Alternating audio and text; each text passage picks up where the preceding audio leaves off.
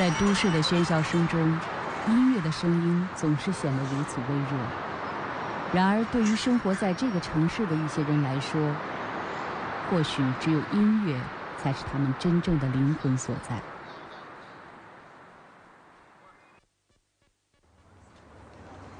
当我第一次在电脑上搜索“琵琶大师”四个字时，他们的后面几乎都连着同一个名字——刘德海。由此可见刘德海在琵琶界的地位。OK 吗？OK，你该该怎么样怎么样。一、二、三、四。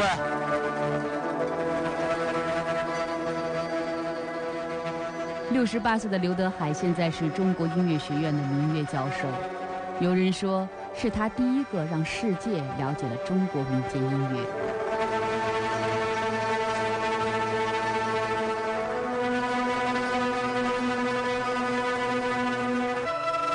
松下来，松下来。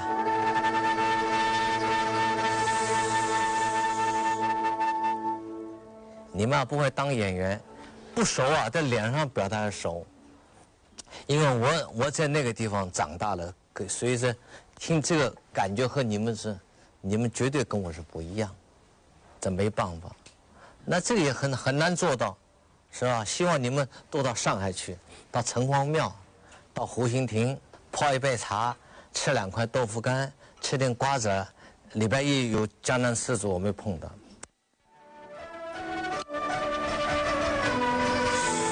一条线。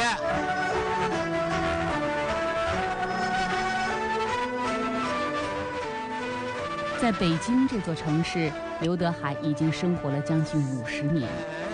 然而，对于故乡上海的记忆，却并没有因为时间而冲淡。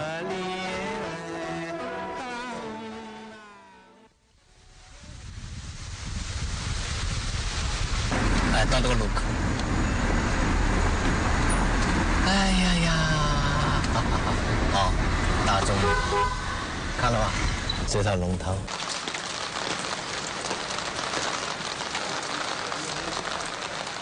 很多人说，弄堂是上海的象征，因为它表现着这个城市在浮华背后最真实的生活。大钟里就是上海无数条弄堂中的一条。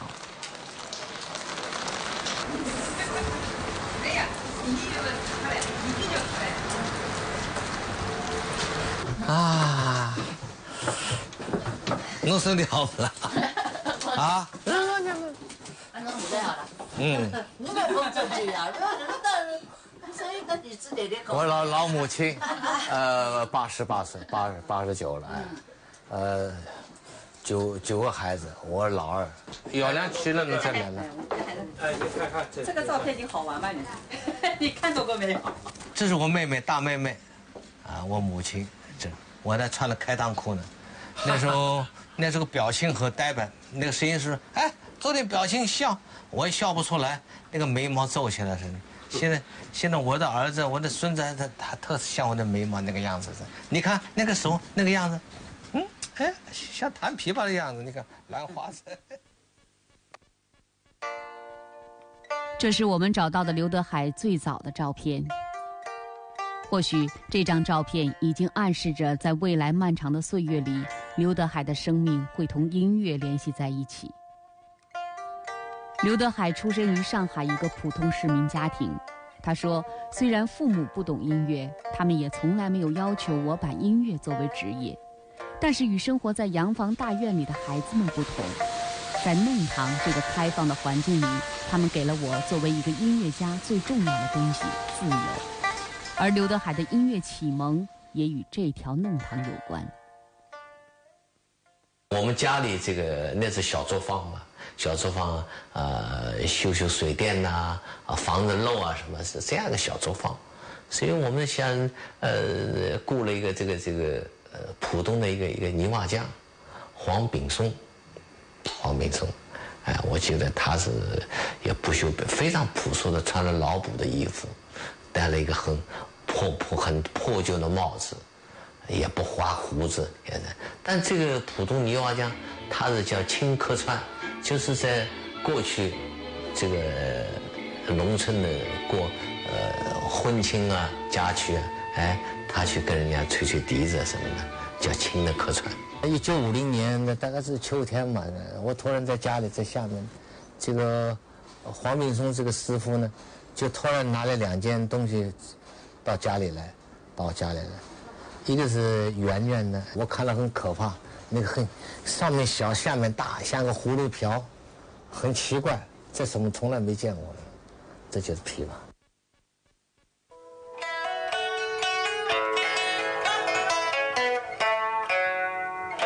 有人曾惊诧于刘德海音乐的平民化，一个原本只登大雅之堂的琵琶，经他演绎出来，竟可以让每个阶层的人接受。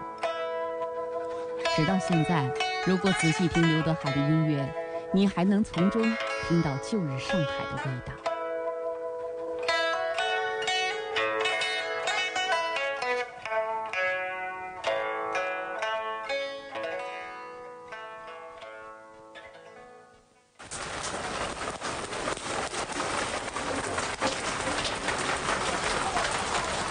可能就是两条龙道吧？把它打开了是吧？哎，有那个响头。哎，都是用木的是吧？对了对了。哎，弄了。弄今年多大岁数了？七十三岁。弄搬了几年了啦？啊。搬了有几十年了。五十五十多年了。嗯，解放以后搬来了。哎。哦，我解放前头，我外公就做这里了。是吧？哎，我外公做这里，所以我就来看看的嘛。哦。哎，好好，谢谢谢谢。哎，这里一套龙堂。与大钟里相比，这条弄堂显得更加破败，但是它对刘德海却有着非比寻常的意义。我小时候外公外婆住在这里，我其实能离开家里到外公外婆这里，那是最高兴的时候。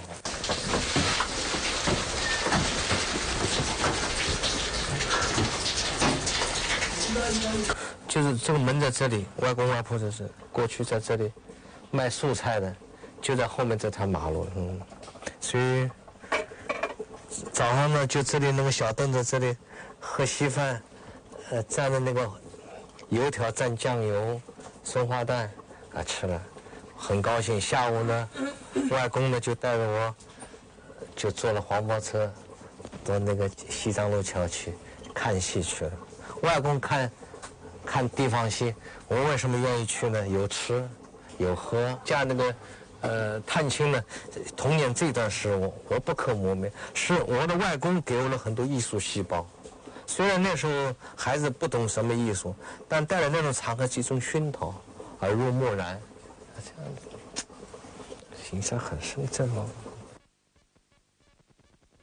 外公的照片如今已经无从找到，当年的戏院也早已没有了昔日的繁华。但他们对一个孩子的影响却贯穿了他的一生。一九五四年，刘德海拜著名琵琶演奏家林石成为师，真正开始自己的琵琶生涯。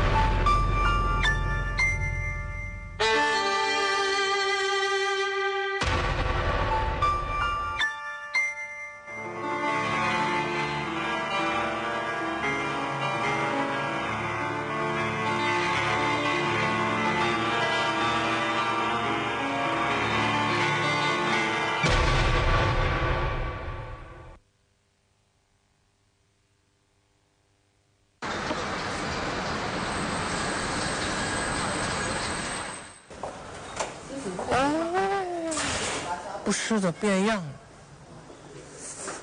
原来这里是有个礼堂吗？这这里哎是个礼堂。以前呢有有个礼堂，有个舞台大。也是这里呀。也在这里啊？嗯。改造过了。就是在这个叫青年会的地方，刘德海第一次演奏了那首后来被很多人所熟悉的《十面埋伏》。是这里吗？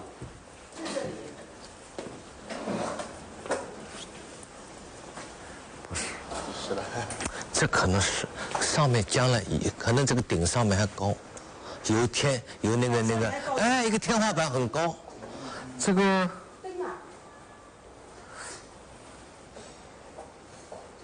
不是我想象当中的，哎，现在看看小了，那时候看看大了，十八岁，哦，十八岁在女青年会，哎，我记得上来是右手上来的，右手上来一个大礼堂，顶很高，虽然很小，还是还是很很高尚优雅的，这个舞这个还地毯呢，这个台口在这里，你看是吧？对对对，也不是，哎，深度差不多，就在这里，哎呀。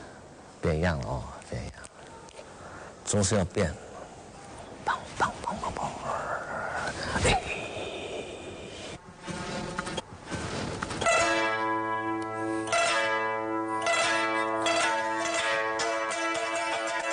虽然此后的岁月中，刘德海曾经在无数世界著名的音乐厅演奏过这首曲子，但是他说，在这里的第一次演奏却永远无法替代。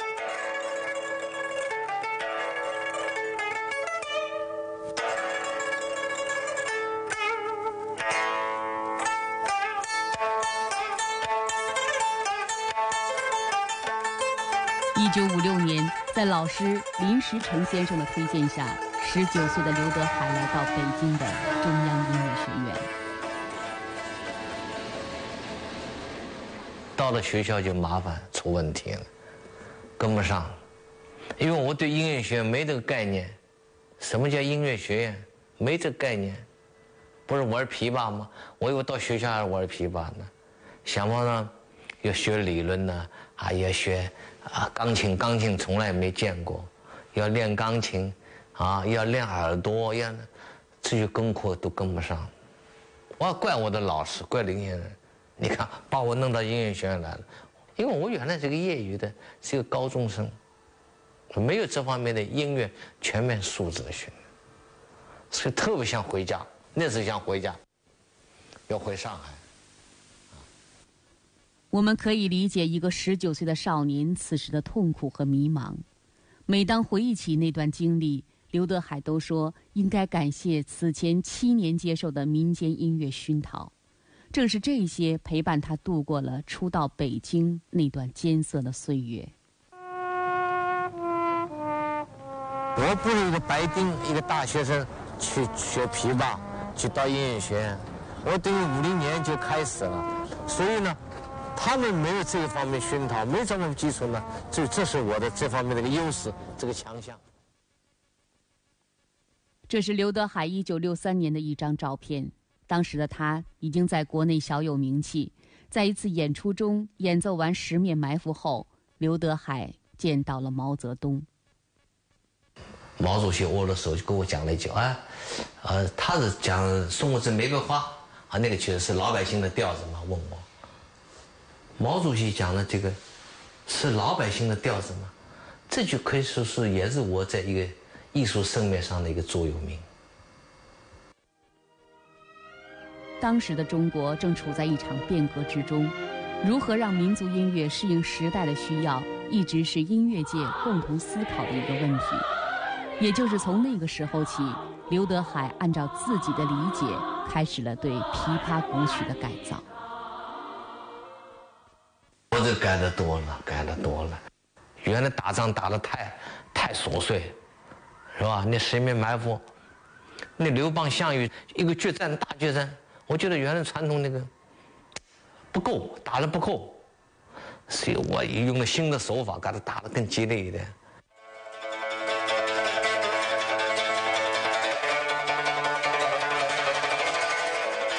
当时就有人曾经劝过刘德海。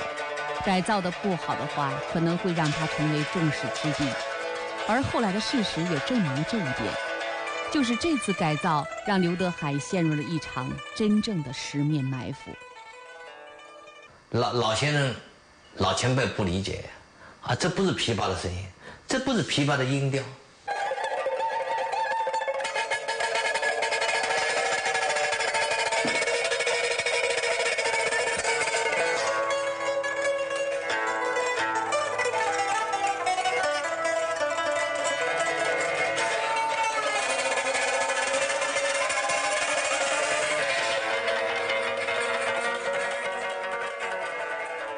我承认，我承认，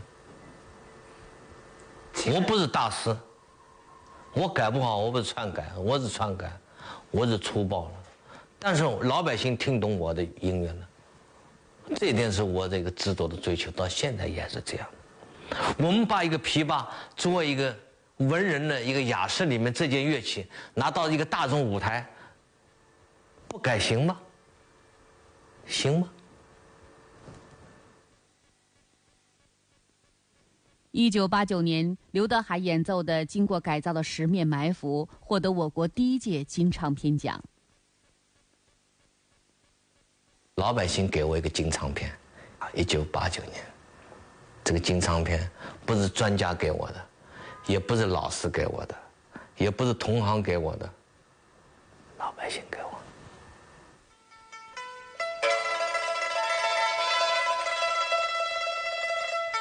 在很多人的记忆里，作为我国最优秀的琵琶演奏家，刘德海的音乐曾经是我们生活中最熟悉的声音之一。一九七九年，中美建交后不久，应美国波士顿交响乐团邀请，作为中国第一个到美国进行交流的文化代表团，刘德海和小泽征尔在波士顿完美地演绎了这首《草原英雄小姐妹》，让西方人开始了解中国的琵琶艺术。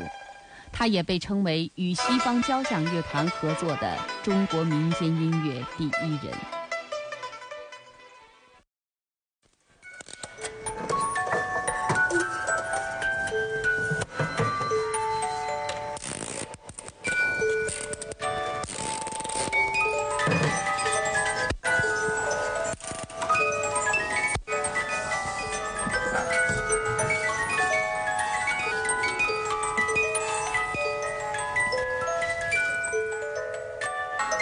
在刘德海家里，收藏的最多的是他从世界各地带回来的音乐盒。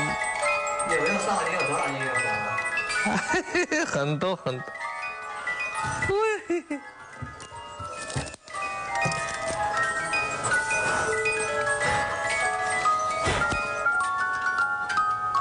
这是从哪儿带回来的？是奥地利，我把乐作曲中文怀胎生孩子嘛，所以他呢生我个小娃娃，我在奥地利写了个曲子嘛。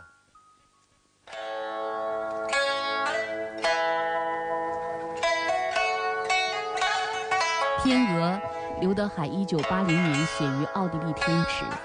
这首曲子被称为第一首中国人写的外国曲子，而我们更愿意把它看作刘德海的一次内心独白。天鹅嘛，因为传统一个海清大天鹅嘛，海清是个很很凶猛的一个乐器，它的欺负强者欺负弱者，我天鹅的弱者，我愿意做一个弱者。琵琶界到现在我还是个弱者，这个叛逆者，传统的叛逆者，琵琶的叛逆者，我一辈子背了这么一个包袱，这么个压抑。但是我可以说，我又是个弱者，我也是个强者。就琵琶能发出声音，我都能发出，不能直发，十个指头绞尽脑子，不睡觉不吃饭我也想出来，我不给后人留下空白。所以这句话是第一次讲今天，我是个强者。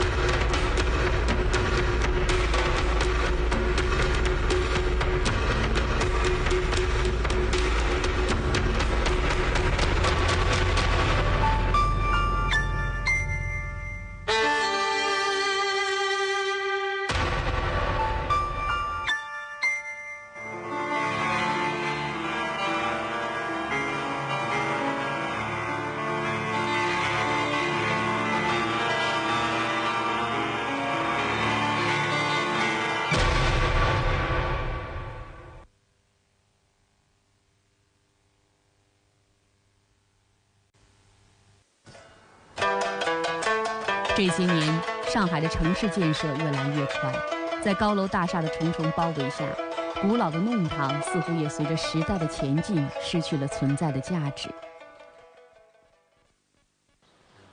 那时候环境很优雅的，现在我们进入了一个峡谷，周边都是高房子，空气也不好，啊，过去我们这很平静，空气很好。你看现在周边都是好房子，所以现在也是面临着非常黄金地段，是等待拆迁。听说外公家的房子马上就要拆了，刘德海决定在房子拆之前再来看看。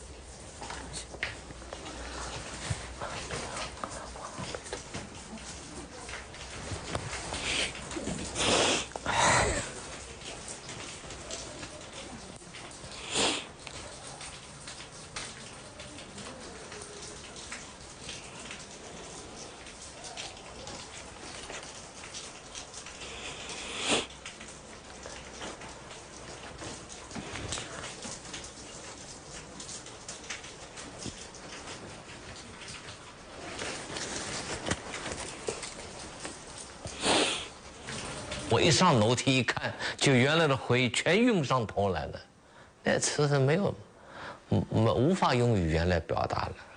一个砖一个瓦，一个石块的路，一个房檐儿，一个那个门窗的雕花，在露天的一个自来水龙头，啊，一个地沟，啊，一个马桶，这这里一下子全用上头了。不管怎么说，该走的总是要走，不管那里埋藏着多少情感与多少留恋。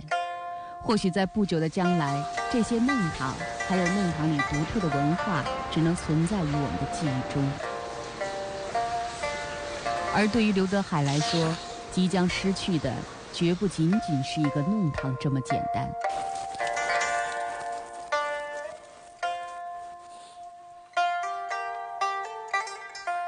三四起。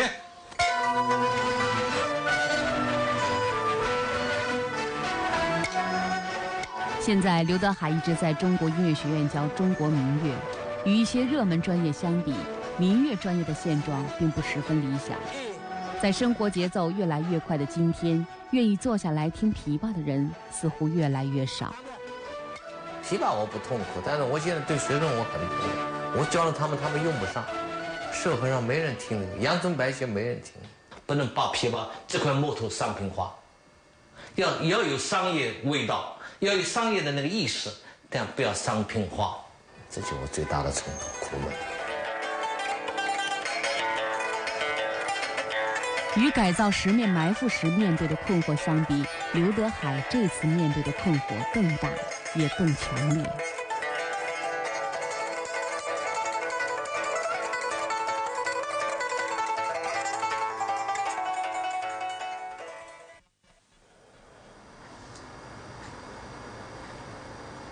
这些年，刘德海一直在致力于一个名为“一行动”的活动，也就是每年抢救和学习一个民间乐种，让民间音乐真正走上舞台。我认为要回回到田野，是吧？还有草根文化，这是我们的根啊！草根文化，草根文化需求。现在有有十六万首民间音乐。在纸上写下来很好，没有声音，再放在抽屉里面的。所以我们一行动就要现在看呢，打开抽屉奏乐，要奏乐，要让人听见音乐，而不是看到音乐。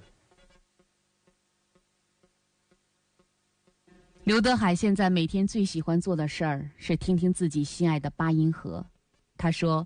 如果可以他希望自己一直活在一个只有音乐的童话世界里。